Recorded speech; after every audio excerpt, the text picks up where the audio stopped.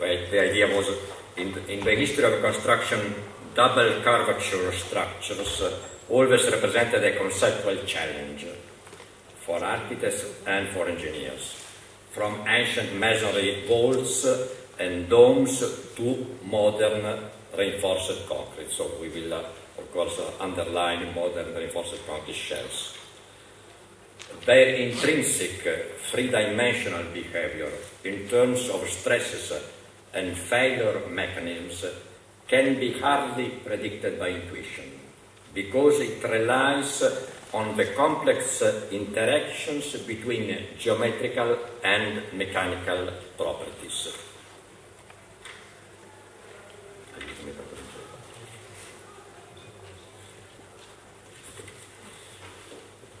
In the past, the conception was ruled mainly by geometrical proportions or trying to apply the knowledge of the mechanics of arches in the case of masonry domes. The first shells were, of course, masonry domes.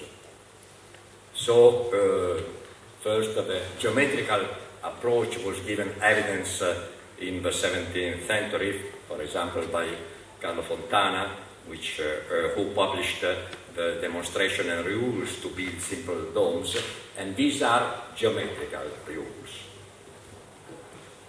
Or an adaptation of the starting and developing uh, theories about the mechanics of arches. For instance, when uh, uh, St. Peter Dome revealed all the structural problems it had, in, uh, in the middle, uh, in the center, in the uh, middle part of uh, the 18th century, uh, first uh, a kinematical analysis was made by the three mathematicians.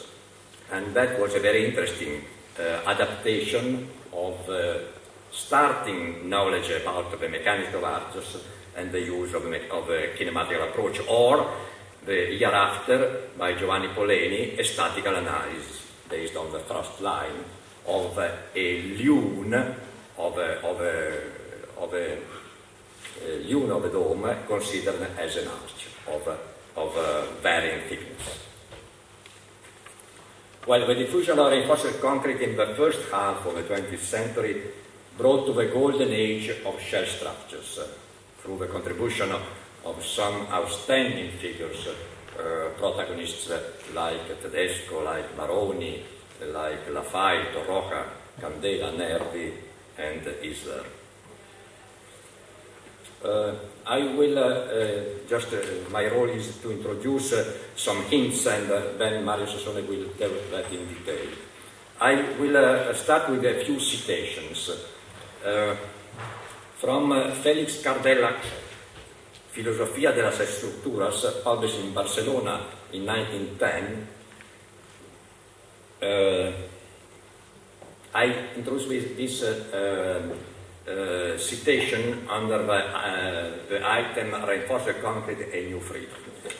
Shall we obtain some integral method for the stability assessment of all construction which would also shine enough light to find new and infinite structural forms which surely exist in that mysterious area from where the beam, the arch, the frame, the cantilever were laboriously extracted by expert hand of mechanical visionaries. So uh, Cardellach had an idea to think larger, wider. There are, uh, there is a, a huge, uh, a huge uh, world of, uh, of uh, structural forms. Let us note that uh, a year later, a very conservative vision was expressed in the well-known um, ambient of the Concrete Institute in London.